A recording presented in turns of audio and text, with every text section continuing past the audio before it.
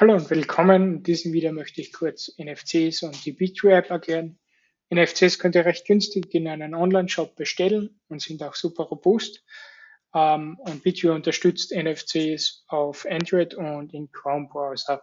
Und euer äh, Device muss natürlich auch NFC unterstützen. Es ist sinnvoll, auf NFC, NFCs ähm, Stöcke zu schreiben, um diese zu identifizieren. Zum Beispiel nehmen hier wir den 1404er Stock Dazu geht ihr auf die Stockdateienansicht, klickt auf dieses Dropdown, hier auf dieses Teilen-Button, dann öffnet sich dieses Fenster.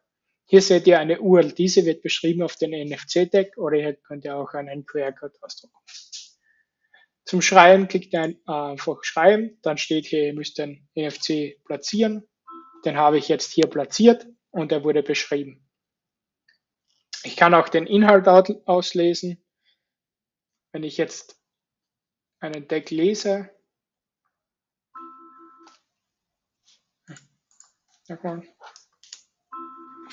so, wenn ich jetzt den Deck lese, müsste hier ähm, die Details kommen, was auf dem Deck steht und hier seht ihr, ID ist hier zum meinen Stock und die URL, was dahinter ist. Okay.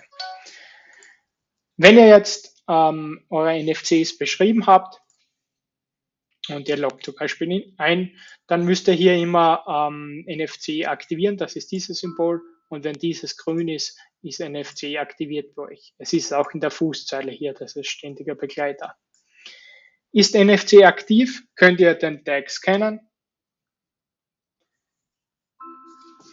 und ihr werdet automatisch weitergeleitet zu euren Stock, den ihr gescannt habt.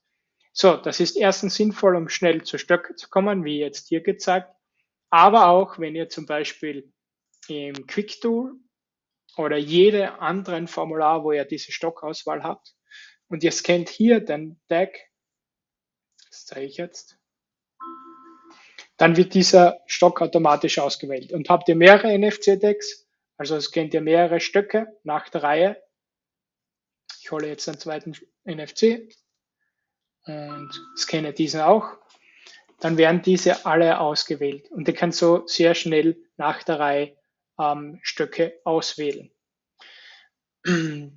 Das, das gleiche gilt, wie gesagt, für andere Formulare, zum Beispiel, wenn ich eine Wanderung machen will, meine Stöcke sind bereits auf einem Anhänger, dann scanne ich nur mal die Tags, die was äh, beim Stock so sind, dass ich sie erreichen kann. Und dann wählt er automatisch diese Stöcke aus. Das ist sehr gut, weil da, spart man sich wieder ähm, durch dieses Menü manuell am Handy zu gehen. Besonders im Außeneinsatz natürlich hilfreich. Und wie gesagt, ihr könnt jede Seite auf einen NFC-Deck speichern.